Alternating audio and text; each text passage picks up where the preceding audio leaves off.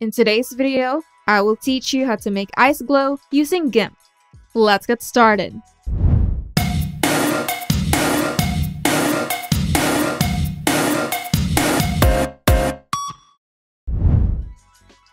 Creating glowing ice in GIMP is an exciting and fun project that allows you to enhance your image editing skills. Here's a detailed guide on how to achieve this effect.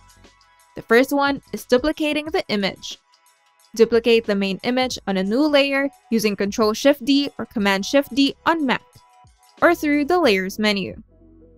Next is layer masking. There are two ways to create a layer mask.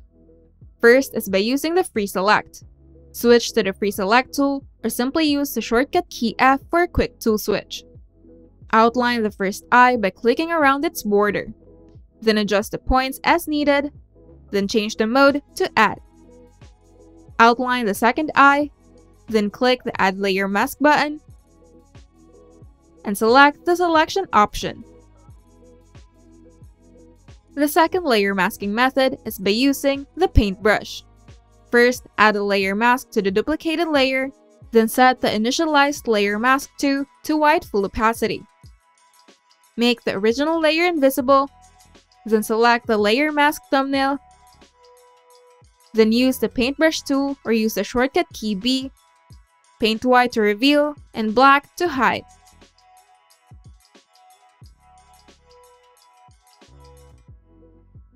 The third step is adjusting the brightness. Select the pixel thumbnail in the Layers panel. Then go to the menu bar, go to Colors, then Curves. Increase brightness by dragging the center of the histogram grid upwards. Customize the glow effect by adding point in the Curves tool. Then click OK when satisfied. An optional step is refining the layer mask. Select the layer mask thumbnail, then use the paintbrush tool to refine the mask. Paint white to reveal, and black to hide. Another optional step is changing the glowing eye color. To do this, go to the menu bar, go to Colors, then select Hue and Saturation. Adjust the Hue slider to change the eye color. Then tweak the lightness and saturation for enhancement. Experiment with other tools in the Colors menu. And consider creating a backup layer for experimentation. By following these steps, you can easily create a captivating glowing eyes effect in GIMP, allowing for creative and visually striking image edits. If you find this video helpful, make sure to leave a like and subscribe. And if you want to see more tutorials, turn on the notification bell to get notified whenever we upload new videos.